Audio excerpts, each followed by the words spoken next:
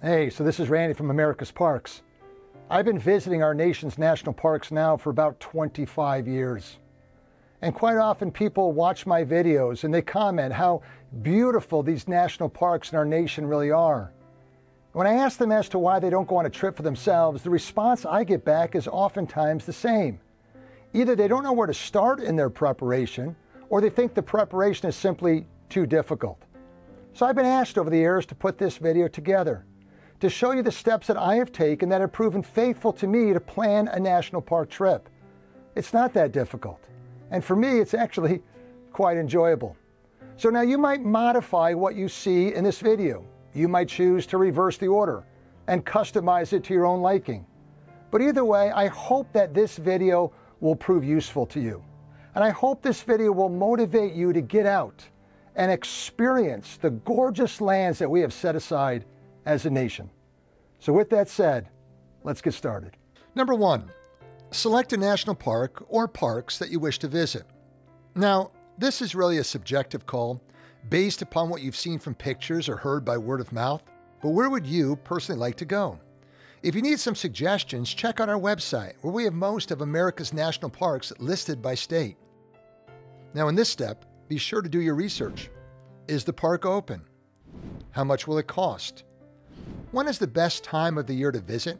For example, some parks are very crowded in the summer. Some have issues with seasonal insects. Some can be very hot or very cold at a specific time of the year. Some deal with excessive rain or frequent storms during particular months. Again, by all means, in this first step, do your research. Number two, determine what other parks are in the region. Here, a good atlas will be your friend. Not all, but many of America's national parks are grouped within a geographical region. Therefore, with minimal driving, several parks can be combined on a 7 to 10 day trip. For example, take the beautiful Black Hills of South Dakota.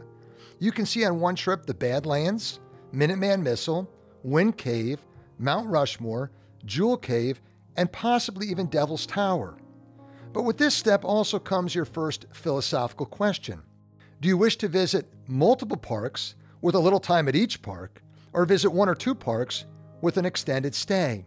We often lean toward the former, which gives us motivation to see the park again in the future and explore what we might have missed on a previous visit. Also, it's important to remember that different national parks will necessitate different stays. As I just mentioned earlier, Badlands is a minimum two day park, whereas Jewel Cave could be covered in a half day.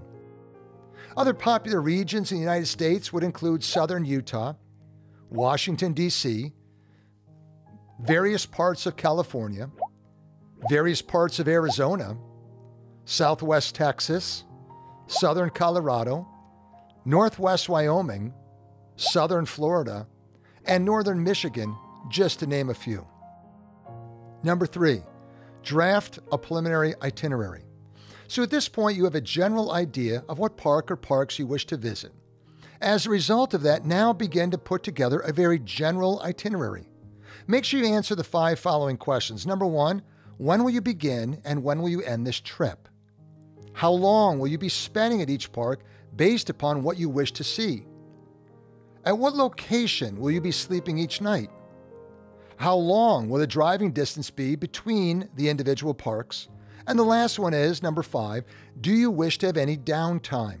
If so, work that in your schedule. When the answers to these questions are determined, draft that preliminary itinerary. And be sure to make sure the itinerary works with your allotted vacation time. If not, make modifications. Number four, book your airline tickets. If you are traveling by air, booking tickets is always my first commitment. My goal in advanced planning here is to find the cheapest flights. I will also slightly modify my trip based upon the varied expenses of airline tickets. Personally, I prefer to travel nonstop. I also enjoy arriving early at a location with time to still enjoy it on my day of arrival. Lately, I've even chosen red eye flights to save the added expense of another campsite and the need to pack up camping equipment early in the morning also with the fear of potentially disturbing my neighbors. Be sure to choose an airport that is closest to your region.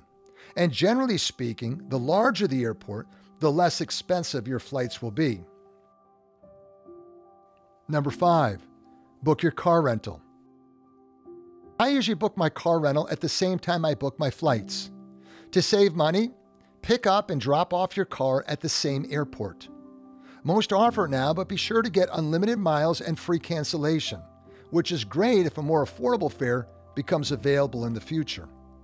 A full size car is often sufficient for our trips with room for equipment and one to three passengers. Number six, book your lodging. Now that your general itinerary is complete with sleeping locations and your start and end dates have been completely finalized, book your lodging. It's important to do this early as many popular places fill up several months in advance. We have chosen tent camping.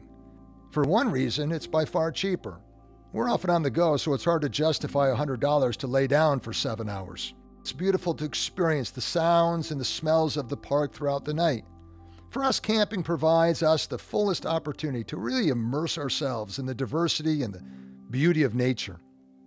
Many of the national parks have wonderful campgrounds. If you care, make sure to investigate if they have flush toilets and showers.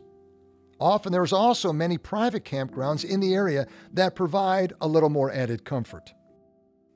Number seven, book any rentals and excursions.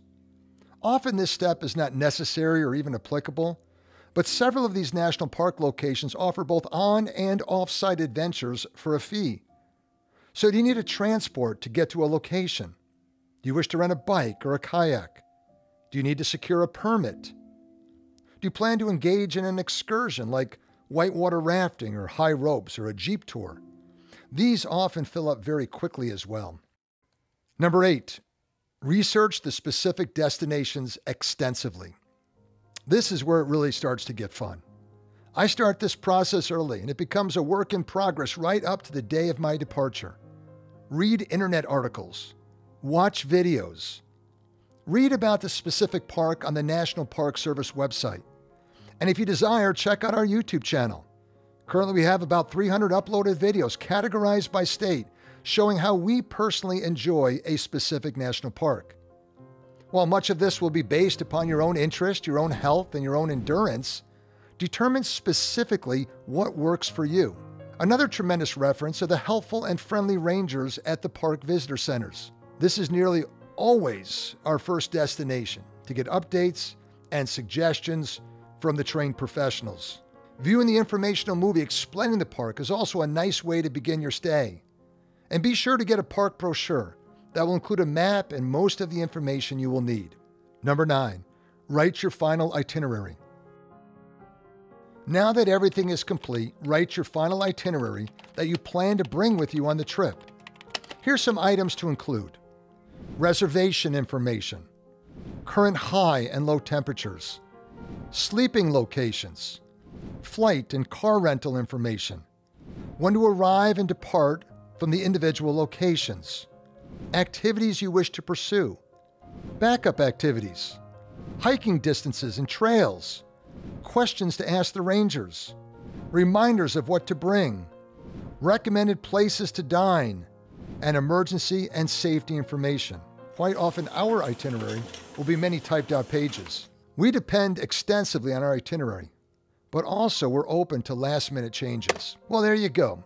It might sound like a lot, but much of this is common sense, and it all becomes very familiar after organizing a few trips. Again, this is only a suggestion. This is flexible. This works for us, but modify it for your own liking. And please feel free to comment down below if there's anything I omitted that might be helpful to other people in their planning. Thanks for watching. Please subscribe to our YouTube channel, and by all means, enjoy our beautiful national parks with safety and respect for these special lands.